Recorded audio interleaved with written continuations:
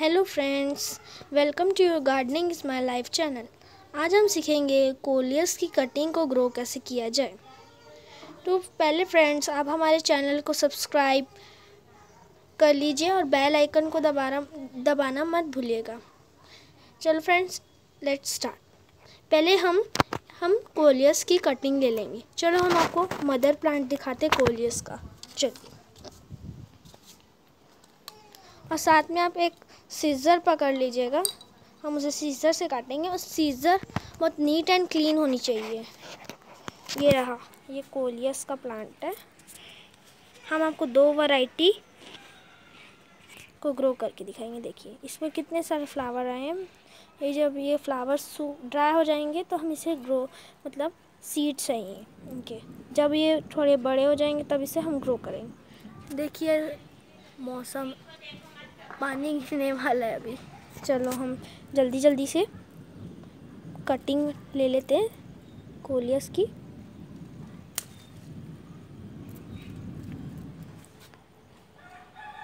ज़रूरी नहीं आप इसे 40 डिग्री के एंगल में ही काटें। ये देखिए, आपको इतना बड़ा ले लेना है। ज़्यादा बड़ा भी नहीं लेना मीडियम साइज़ का। ये देखिए, एक और यहाँ है। एक ग्रीन वाला है। हम इसे भी ग्रो करेंगे।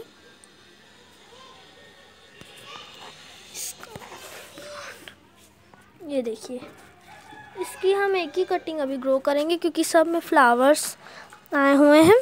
फ्लावर वाली कटिंग हम नहीं ग्रो करेंगे। हम इसमें एक स्टेम में नहीं आए, उसमें भी आ रहे हैं तो उसको ग्रो कर लेंगे।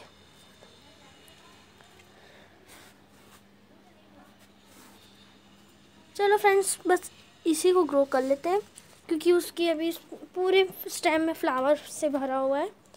ज़्यादा फ्लावर वाला लेंगे तो उसकी ज़्यादा लाइफ नहीं रहेगी।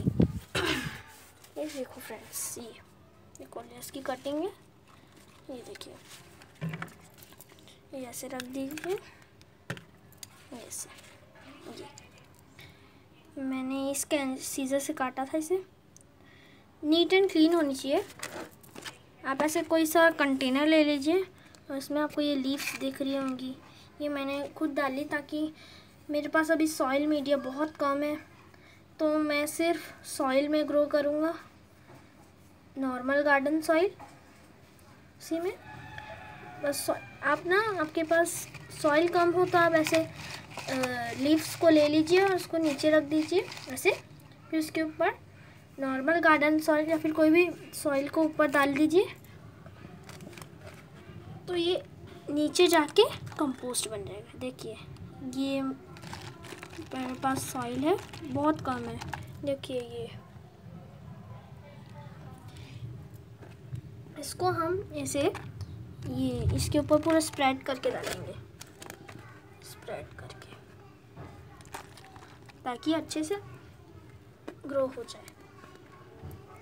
ये देखिए। इसको अच्छे से स्प्रेड करके डालिएगा और मिट सॉइल को ज़्यादा प्रेस नहीं करना है।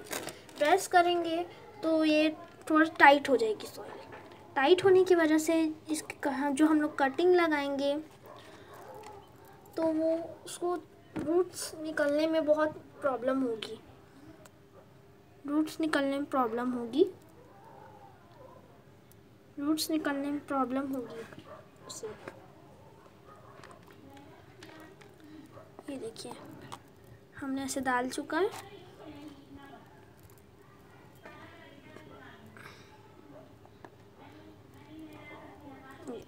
ये हमने डाल दिया है ऐसे अभी से हम थोड़ा सा गीला कर लेंगे।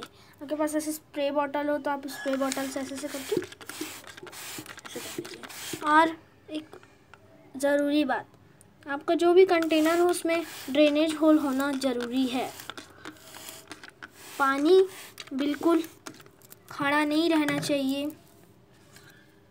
ये देखिए। उसमें पानी खड़ा रहेगा तो हमारी कटिंग्स गल जाएँगी। देखिए फ्रेंड्स, हमारे नी, हमने इसे नीचे से पट्टे पूरे हटा दिए ऊपर ऊपर के रहने दिए हैं।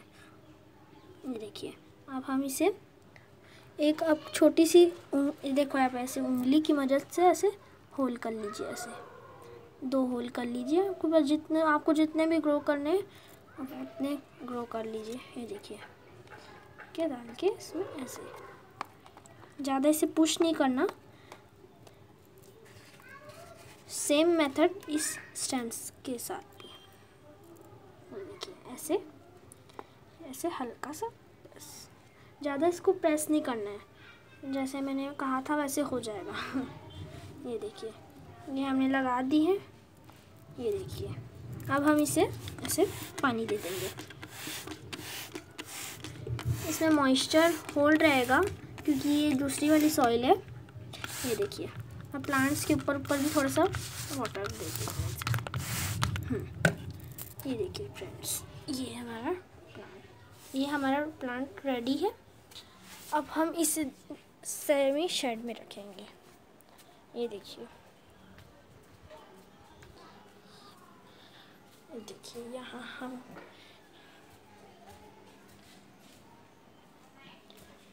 अब हम इसे यहाँ रखेंगे।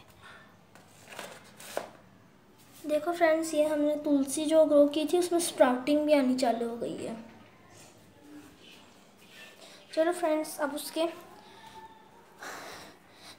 टेन डेज़ बाद का रिज़ल्ट दिखाते हैं हम आपको।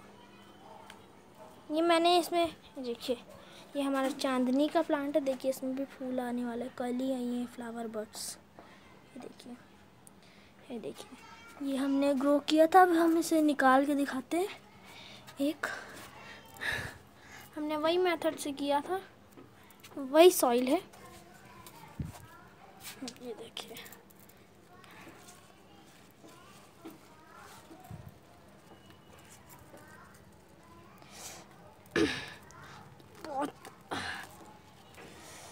ये देखिए। ये देखिए।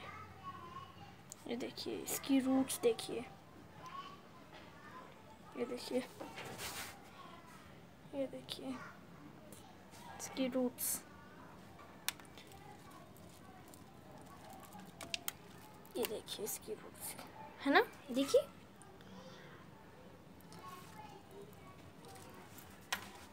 तो फ्रेंड्स आपको हमारा वीडियो अच्छा लगा तो उससे प्लीज़ लाइक कीजिए, कम, शेयर कीजिए और कमेंट ज़रूर कीजिएगा।